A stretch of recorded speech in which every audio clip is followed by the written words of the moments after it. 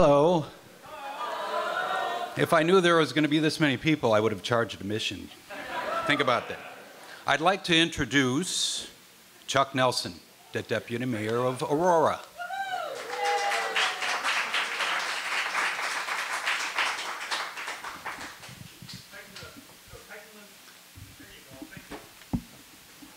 How's that? Oh, that's perfect. Okay. What a crowd, standing room only. Give yourself a hand. This is great. Fantastic. It's a real, uh, certainly this sign, the standing room only sign, I think is a real tribute not only to the Hix family, but also to John and Eileen. So God bless all of you for being here today. Well, good morning and welcome to this very special honorary street naming vote, uh, dedication ceremony. Excuse me where today the city of Aurora is recognizing the Hix family and honoring the lives and achievements of their late father and mother, John and Eileen Hix. A special welcome to all our out of town guests. And can I get a show of hands? Who's from out of town? Yeah, there we go. How far? Who came the farthest? Utah. Utah, fantastic. All right, great. Well, welcome. Welcome. It's great to see everybody. John and Eileen's legacy is one of family, faith, country, and music. And I was told that together, John and Eileen produced the most beautiful music ever.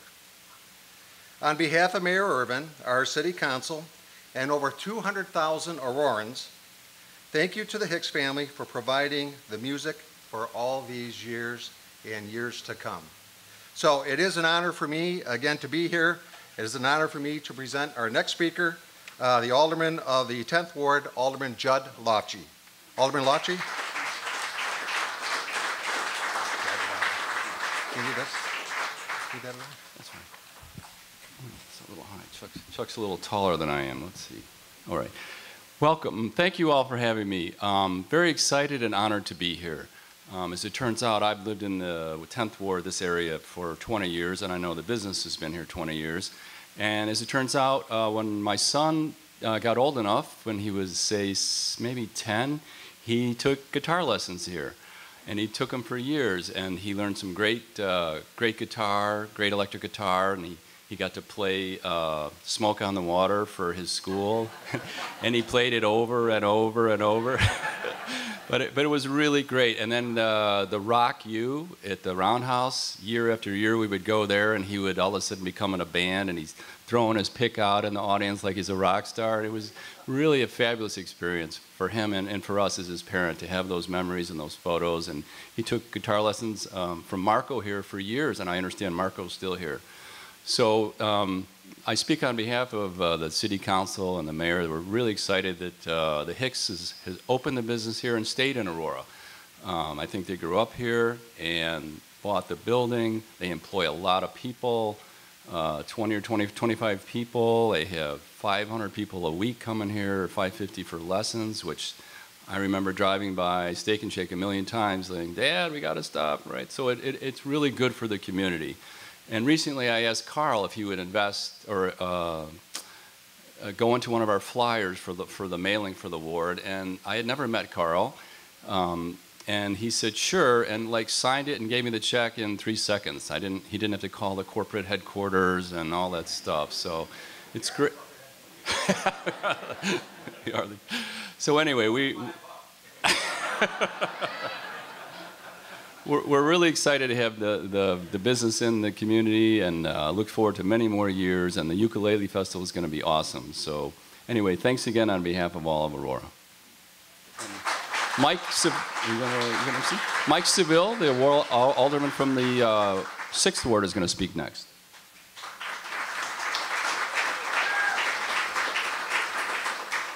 Thank you, Judd. Good morning and welcome.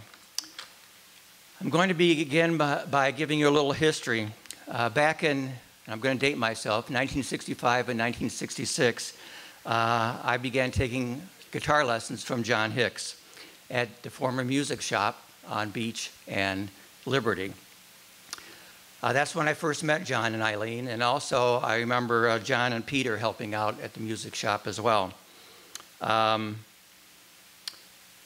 it was interesting because um, what I remember from that experience was being taught two songs, Mich- Michelle and, and Eleanor Rigby.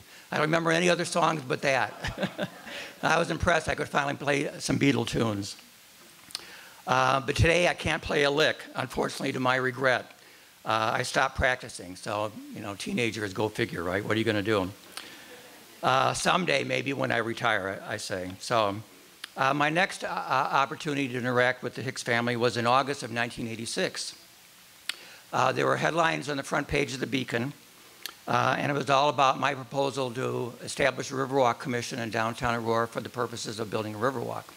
And that very evening, I get a phone call from a, a, a young lady, and we proceeded to talk on the phone for over two and a half hours, and that was Mary Eileen. And we became fast friends. Um, and Mary Eileen and, and Rick were so generous, um, not only with their friendship, but in 1987, I had an event in my ward, and they and their band played for free for me. Uh, and I was very touched. And um, I even have a VH ta- VHS tape of that. It's somewhere in the house. I could find it if I look for it, but I know it's there. Um, when my mom passed away in 2003, I immediately called Mary Eileen and asked if she would um, perform and sing at my mom's service. And, and again, um, she was so gracious. Um, she said yes. And her and a friend came and, and performed wonderfully, uh, and something that um, uh, my family will always uh, remember.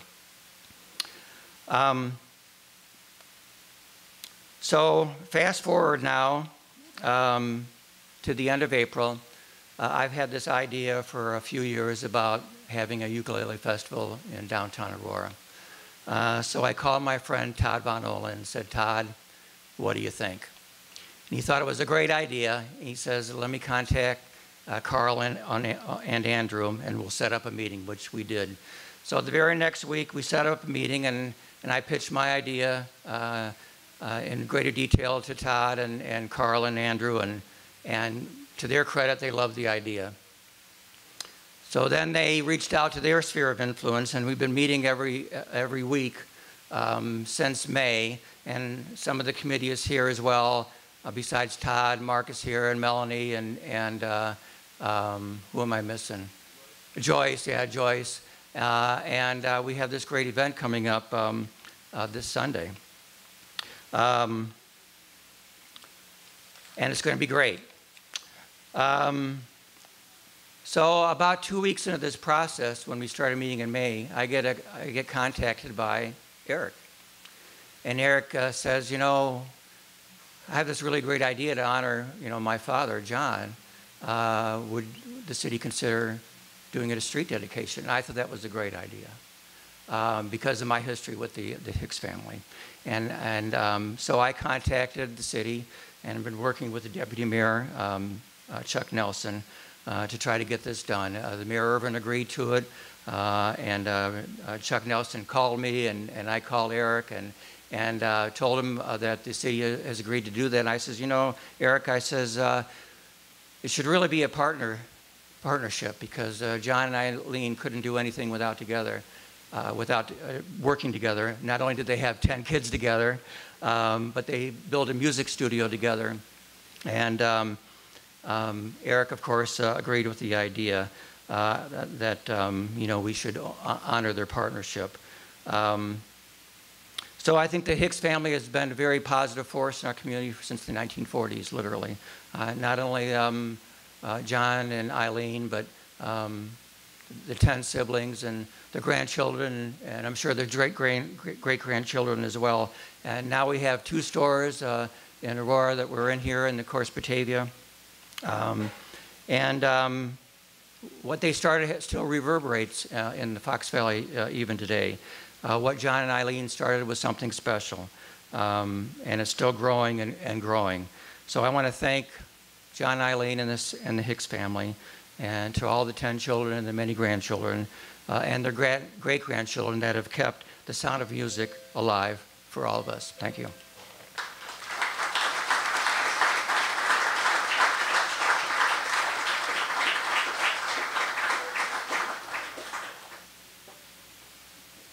Morning, everybody. Thanks for coming, all our friends and family, for this dedication today. Um, I'm Andrew Hix. I'm the baby boy. uh, thanks to uh, Deputy Mayor Chuck Nelson, the alderman for speaking, and, and uh, Gina Moga's office, uh, special events for putting this together. And special thanks again to my brother, Eric. Don't you start crying because, you know, I got to stand here. Great. That's good. um, it, it, was his idea. Actually, it was his idea right after my, my folks passed. He called, I think he called all of us at one point and just said, you know what would be really cool? I said, that's not going to happen. There's lots of people in town that do wonderful things, and why would they do that? But he was persistent, and I really have to say thank you to the city for going along with this idea. It's, it's really an honor to be here. Um, this is where it gets tough. My dad,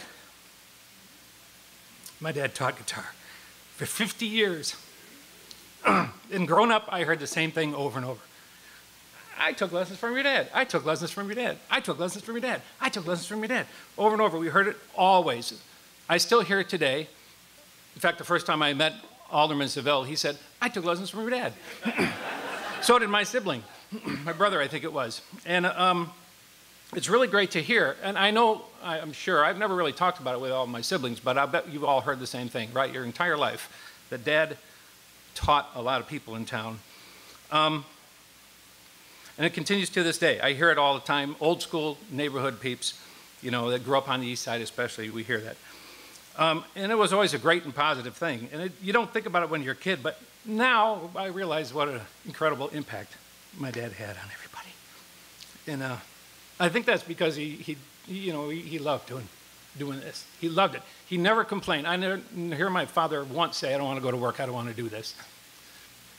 He just loved. He loved playing. He loved teaching. It was his dream. Uh, during World War II, he actually told his buddies. Uh, he probably told other people this too. He told me. He said, uh, when he was overseas, he told his friends, his buddies, that if he ever got out, he was going to open a music store and have a dozen kids. And, uh, you know, he got pretty close. And, uh, you know, Carl, uh, or Eric here is like three kids by himself. So that's, that's probably why they gave up. Eric, those are your friends. You know what a definition of a friend is, right? It's somebody that knows you but still likes you. so, but he got real close. He had jobs for several years, but he thought uh, he always taught and he played gigs. He played a lot of gigs, uh, Hawaiian music mostly, although he played what he called Spanish guitar also. And eventually he took the plunge and he opened Hix Music when there were like nine kids at home. He quit his job and opened a music store, and I always really gave him credit for that alone. And after 50 years, he only quit because his macular generation made it impossible to work. But during those years, you know, he gave thousands and thousands of lessons, and his students played recitals in nursing homes and at the VFW. I did a bunch of these gigs with him. I know Carl did, Peter did. Contests down at the state fair and all kinds of stuff. And he managed, uh, this is amazing. I was just talking to Carl about this recently. It never occurred to me. Hawaiian music had its heyday in the 30s somehow, all the way up into the 70s, way after rock and roll was gigantic, he was still getting kids to, play Hawaiian steel guitar. I don't even know how that happened. That's kind of amazing. Um, but I know that for sure because I had ki kids that I was in junior high with in the mid 70s were taking steel guitar lessons from my father. Um, that's kind of amazing. So now when I meet people who study with him, they, they don't just talk about the music, of course. They talk about what a great guy he was and what a positive influence he was on their lives. And that's in spite of that cigar that he had in his mouth in a little teaching room. I don't even, what a horrible idea. but no, that's just the way it was. We should try that, Carl. you know? And, and they told me that not, if they don't play anymore, that it's still very important in their lives. Maybe their son plays, their granddaughter plays. Sometimes the same instrument that they played on back in the 50s is still being used by somebody. Um, after most of us were grown, my mom joined my dad at the store. She was supposed to be the head salesperson. It's kind of, if you knew my mom, I go, what? but really, she was an ambassador. She greeted everybody. She knew all the students' names. I was just talking to Carl about this also. basically their life story. She was a great listener, and she'd say, maybe that child has nobody else to talk to today, you know? She was amazing. She listened. Um, in fact, my mom could get the entire life story out of the lady at the checkout counter at the grocery store. I kid you not. She'd come out of the store and she'd have the entire story, and she'd go, I don't know, I didn't ask, they just tell me. Ma, something's going on here. They, but that's how she was. Everybody loved my mom because she was a great listener and she was a very smart woman, too. And I, I think she actually knew more about my dad's students than he did a lot of times. He'd come home and she'd start asking questions about a particular student. My dad was like, What are you talking about? And she remembered every detail. And years later, she still knew all the details of these people's lives. She was amazing. Former students um, have told me, too, numerous times that talking to my mom before and after the lessons was just as important as taking the lesson from my, from my dad or for whoever else was at the store. So I want to thank my folks for passing that all on to this community and, and, and to this family, you know, because music is a giant gift that we receive every day, I feel. Um, like Alderman Saville said, a lot of the grandkids are musicians, great, great grandkids are becoming musicians. Um, as far as guitar, well, guitar or drum, I know everybody in the family knows that there's, there's free lessons waiting for them if they want them. So we've been teaching a lot of kids for a long time.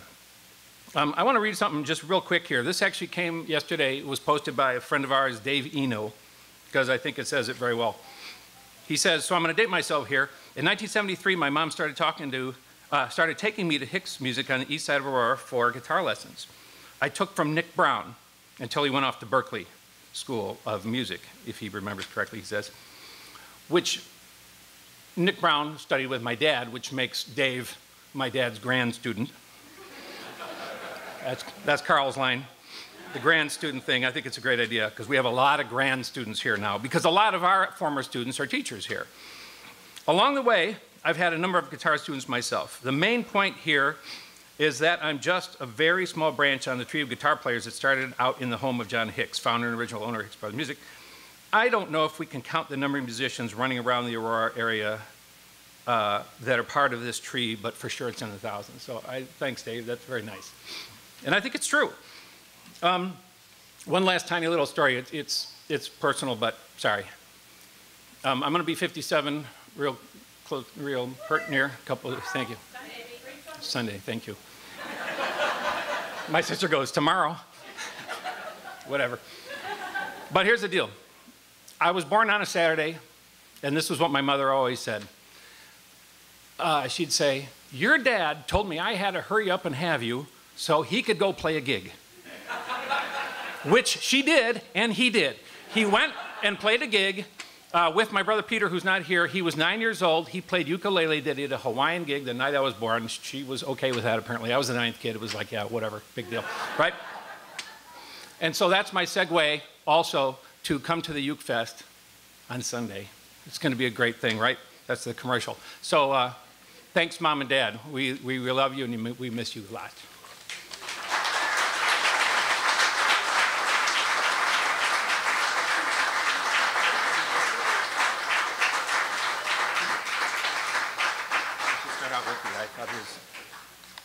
What?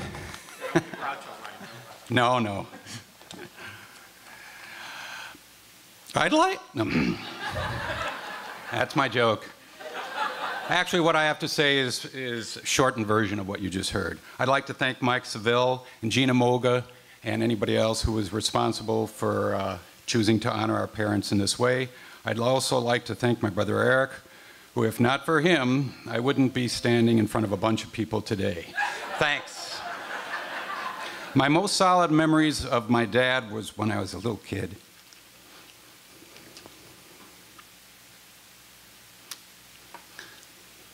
Seeing him come home, shoot. Every weekday about 4:20 from his day job at Caterpillar, eating dinner with us and then disappearing into our front living room, closing the pocket doors where he would give unsuspecting students music lessons on the steel guitar or the Spanish guitar which is what it was called, or the ukulele. We kids would see him only for a brief moment when he would step into our den while we watched TV.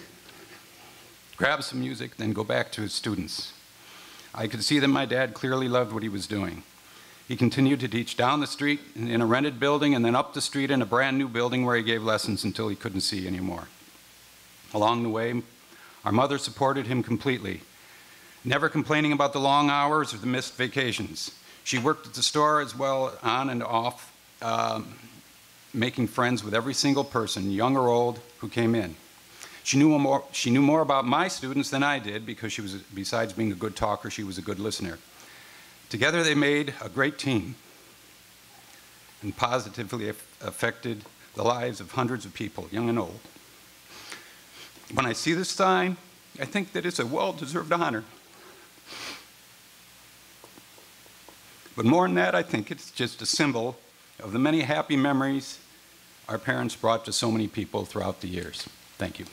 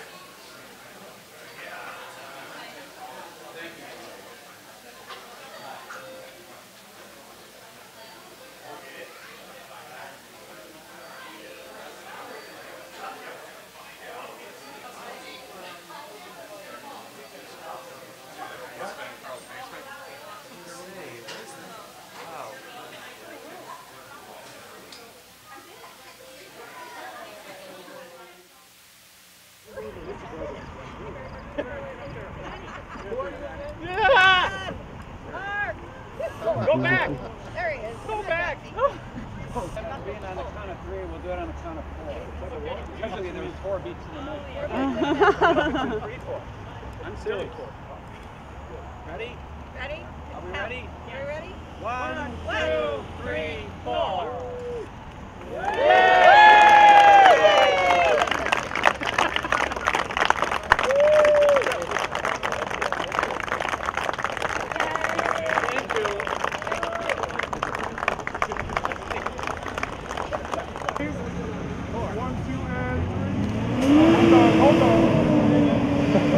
Thank you. right there. You're getting hit by a giant truck, you people.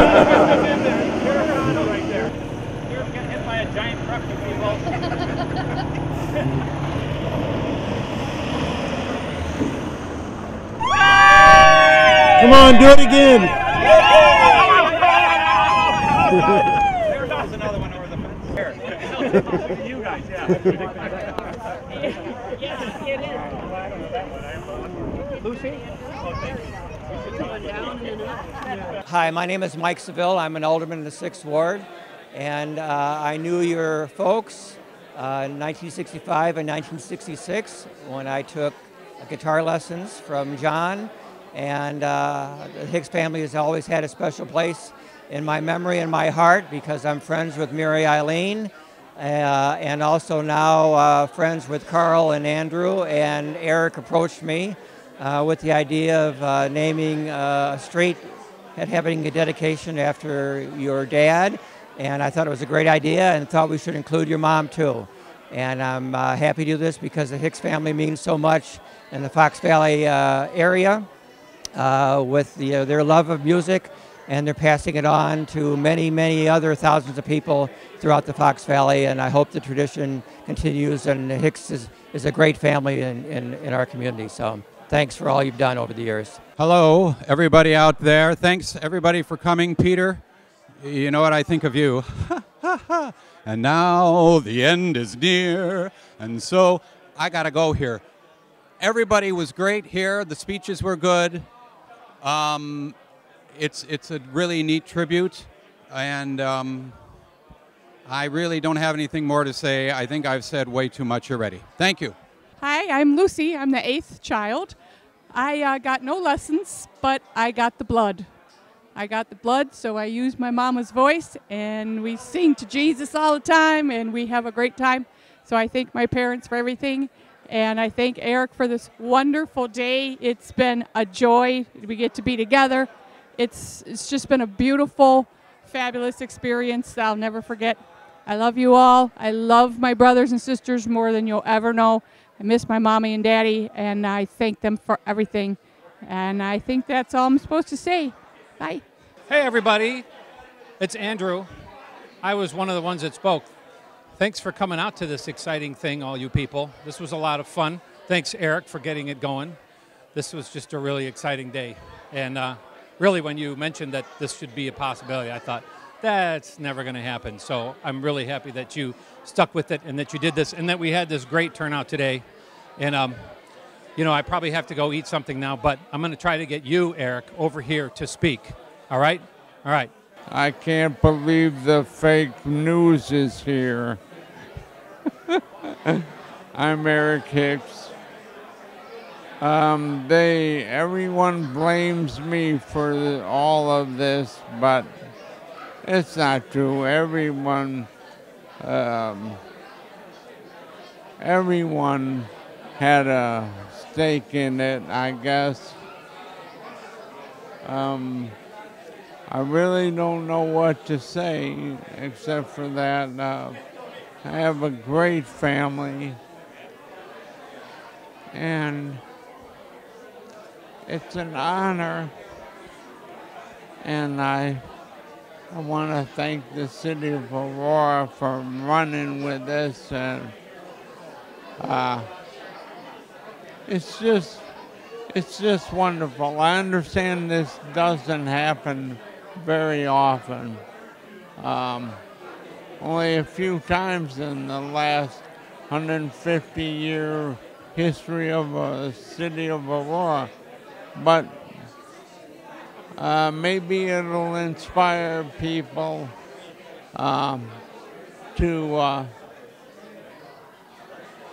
uh, do all they can and give back if they're in any way successful. And that's what mom and dad did. And that's really all I have to say. So, thanks again for this opportunity. Thanks much. Hi, I'm Andrea James. Um, my mom is Lucy Hix, and my grandparents are John and Eileen.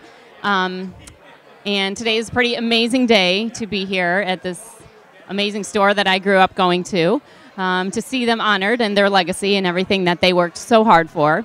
Um, I feel a special kinship to this place and this family um, because I teach here now. I'm a voice teacher. I've been singing my whole life. I learned from my mom, who learned from my grandma. And um, I went to school for voice, and I have my master's, and um, I sing in professional choirs. Um, I teach piano lessons as well. And, and one of the best parts of my, my days, my weeks, my time here, living here back, in, back home, is working at Hix Brothers. I get to work with my uncles um, a few times a week, and I have fantastic students, and I get to help live out the legacy um, that my grandparents started. And it's a, such an honor to be here and I'm so proud. So thanks, Grandma and Grandpa. Yeah, I'm John Hix. I'm the oldest of the 10 kids. Um, so I've been with them the longest. I watched all the things that everybody else talks about take place. Uh, I have, I'm married. I have six children. I, all of them are, are studying music out west, and uh, I write. I, I still teach out of my home in Sandwich. I teach in, four nights a week. I have some students. I love teaching more today than I did when I started maybe 40 or 50 years ago. I, it's just something that grows on you. It's so wonderful watching people enjoy and understand what goes on to enrich their lives. That's pretty much about it. Hi, I'm Celia. I'm number 10 of the 10. Johnny's over there laughing at me. Hi, Peter. Am I supposed to be saying hi to Peter? Uh, just wanted to say hi to everybody and all the other family members that couldn't be here today. It was a wonderful, wonderful ceremony. Uh, Carl and Andy were funny, hilarious, and also made us cry. Mom and Dad would just be so happy and so proud right now. I'm sure they're watching right now and just laughing at us. So it's been a wonderful day, and we're just going to go continue and have some more fun. Okay? All right, thanks. Hi. Hi. Am I talking to whoever is in here? I'm uh, Mark, the third son, I mean, the third child, the second son. And uh, we had a wonderful day here. A lot of people showed up for the dedication of the sign, and uh, people we haven't seen for a while. And uh, it's certainly it's, certainly a, a nice thing to be able to honor our mom and dad. The 50 years, the dad taught, like my brother said, and uh, um, I I I, uh, I couldn't be happier, couldn't be prouder of him, and so uh, it's just been a very nice event. Thanks, I'd like to thank the city and the representatives, and uh, of course Eric was the catalyst behind this, and uh, that's about all I got to say. All right. Hi, kids. I'm not sure why I'm doing this. I think because um, everybody else got to, but we didn't get to come there and, and uh, enjoy that uh, day of honor, uh, our mom and dad. I would like to say just a few things. A, or number one, mom and dad taught us music. Mom, her show tunes and her classical stuff. Dad, for me anyway, hillbilly and Hawaiian. You know. Hey, good looking, what you got cooking on top of Played that the other night, or last night actually. Anyway, the second thing that Andrew talked about, and by the way, Andrew Carl, you did a great job on hosting the thing. Um, it was really well put, everything you said, except for one detail. When Andrew, you mentioned there was their dad wanted 12 kids. Well, there were 12 kids, but um, Mark ate one and I ate the other one. Hi, I'm Terry. I'm Eric's wife, and it's been exciting to be here today and see all the family. And um, I can't wait for the rest of the weekend for everybody to get together. I'm Tabitha Villa Gomez, and I am John and Sandy's firstborn. And I didn't know I was coming until I jumped in a car and got here. It was nearly magical. And it's so worth it. I'm so glad to be back and to see all the cute faces that I'm related to. And we miss all those that couldn't be here. And uh, yeah, super exciting stuff. Your turn now.